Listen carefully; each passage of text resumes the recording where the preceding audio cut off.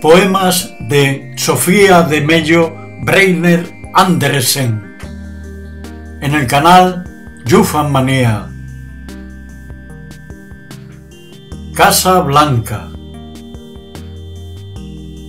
Casa Blanca frente al mar enorme, con tu jardín de arena y flores marinas, y tu silencio intacto en el que duerme el milagro de las cosas que eran mías. A ti de volver, tras el incierto, calor de tantos gestos recibidos, pasados los tumultos y el desierto, besados los fantasmas recorridos, los murmullos de la tierra indefinida. En ti renaceré en un mundo mío y la redención vendrá en tus líneas, en donde nada se perdió del milagro de las cosas que eran mías.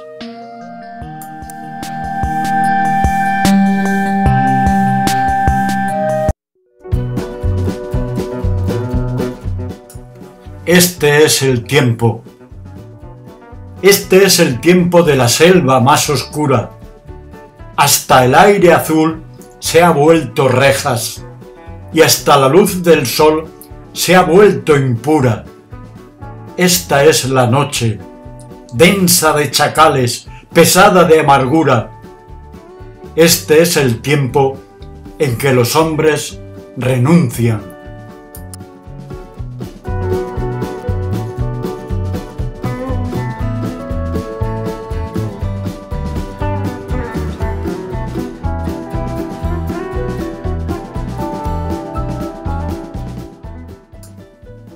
La palabra. Heráclito de Éfeso dice, el peor de todos los males sería la muerte de la palabra. Dice el proverbio malinque, a un hombre puede engañársele en su ración de alimento, pero no puede engañársele en su ración de palabra.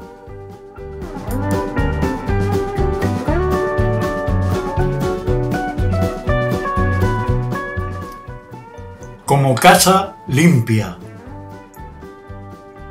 como casa limpia, como suelo barrido, como puerta abierta, como puro inicio, como tiempo nuevo, sin mancha ni vicio, como la voz del mar interior de un pueblo, como una página en blanco, donde el poema emerge como arquitectura del hombre que levanta su vivienda.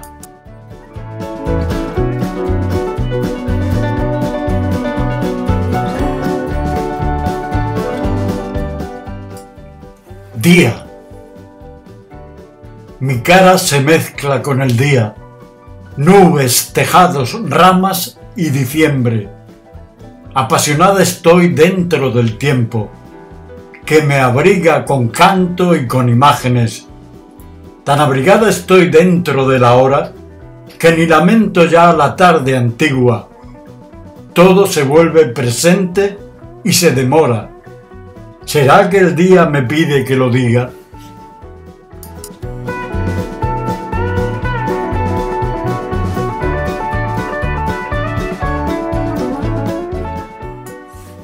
La confusión.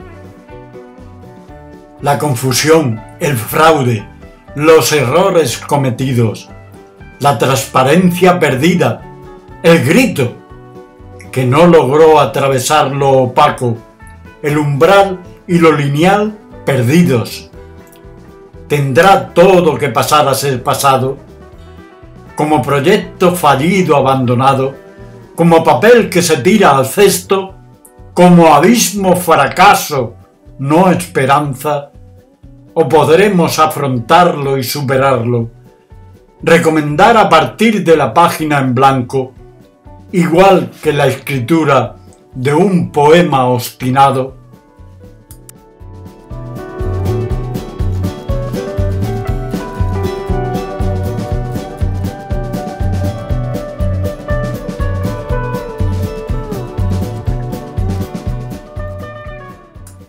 Heme aquí habiéndome despojado de todos mis mantos, habiéndome apartado de adivinos magos y dioses, para quedarme sola ante el silencio, ante el silencio y el esplendor de tu rostro. Mas tú eres de todos los ausentes el ausente. Ni tu hombro me sostiene, ni tu mano me roza. Mi corazón desciende las escalas del templo que no habitas, y tu encuentro son llanuras y llanuras de silencio. Oscura es la noche, oscura y transparente, mas tu rostro está allende el tiempo opaco, y no habito los jardines de tu silencio, porque tú eres de todos los ausentes el ausente.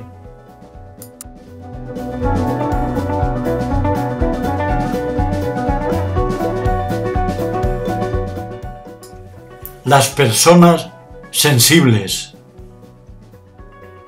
Las personas sensibles no son capaces de matar gallinas, pero son capaces de comer gallinas. El dinero huele a pobre y huele a ropa de su cuerpo, aquella ropa que después de la lluvia se secó sobre el cuerpo, porque no tenían otra porque huele a pobre y huele a ropa, que después del sudor no fue lavada, porque no tenían otra. Ganarás el pan con el sudor de tu frente, así nos fue impuesto, y no con el sudor de los otros ganarás el pan. Oh vendedores del templo, oh constructores de las grandes estatuas huecas y pesadas, oh llenos de devoción y de provecho. Perdónalos, Señor, porque ellos saben lo que hacen.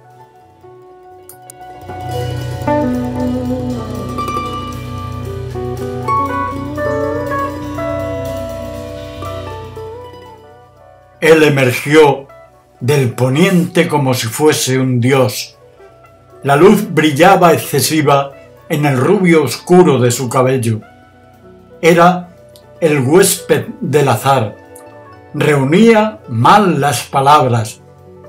Fueron juntos a Olimpia, lugar de atletas, tierra a la cual pertenecían. Sus anchos hombros, las caderas estrechas, su fuerza esbelta, espesa y cimbreante, y su frente bajo de novillo cenaron al aire libre con un rumor de verano y de turistas. Una leve brisa pasaba entre diversos rostros. Ella lo vio después de quedarse solo en plena calle. De pronto, demasiado joven y como apartado y perdido.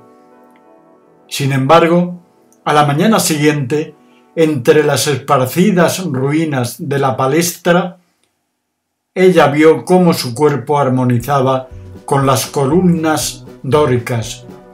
De todas formas, en Patras polvorienta, en sofocante subir de la noche, tomaron barcos distintos. Desde muy lejos aún se veía en el muelle la figura espesa, cimbreante, esbelta, que entre luces con sombras se fundía bajo la despreciable indiferencia no suya, sino de los dioses.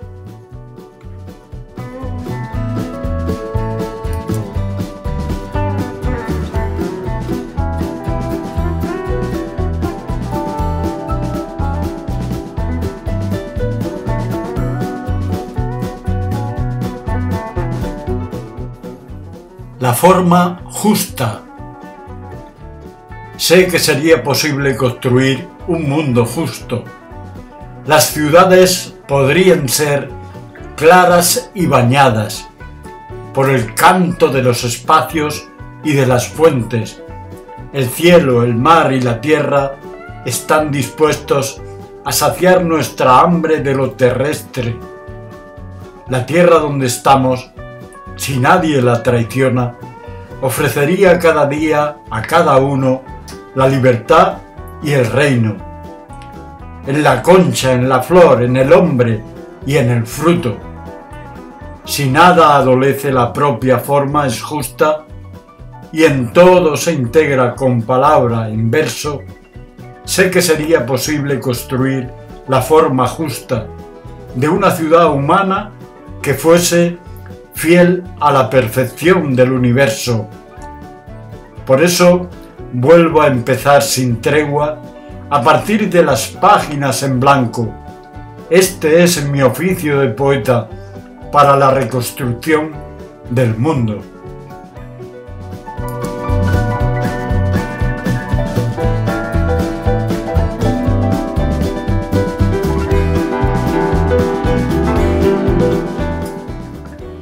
Nunca más.